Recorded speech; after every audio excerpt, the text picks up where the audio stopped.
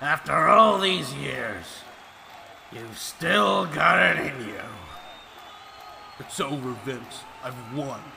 Now let me go before I make you hurt even more. Cena, no! Wait. If you go through that door, you will lose something very dear to you. God fucking damn it, Vince. I knew there was a catch.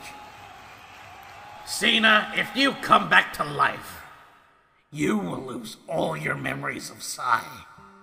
He will no longer exist to you, and you will no longer exist to him. What?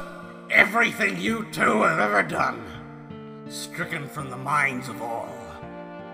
There is no greater loss than the memories of humans. Why, Vince? Why did you do this? Why did you lie to me? Cena, trust me. I wish it could have been different. I really wish.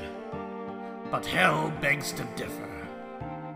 Remember, this is a place where bad people go to die. The laws of hell make it so that there always has to be some kind of attack.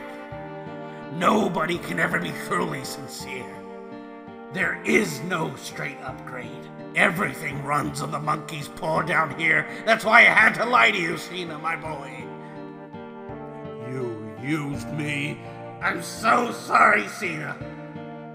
Listen, you don't have to go back up there. You can still keep the memories of your dear friend. All you have to do is rule by my side. Excuse me?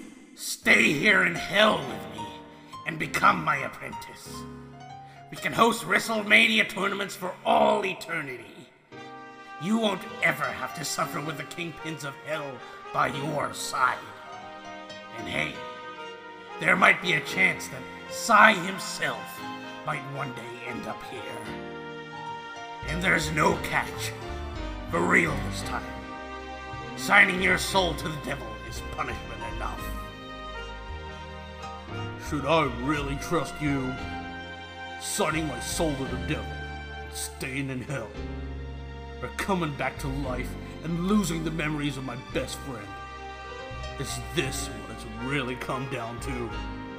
Life isn't all cut and dry, Cena. You can't always power through everything and say, never give up. We're only human after all. Because one day, giving up is something you'll have to do. That's how sacrifice works. You only get out what you put in. The choice is yours, Cena. Will you stay with me, or go back into the world of living?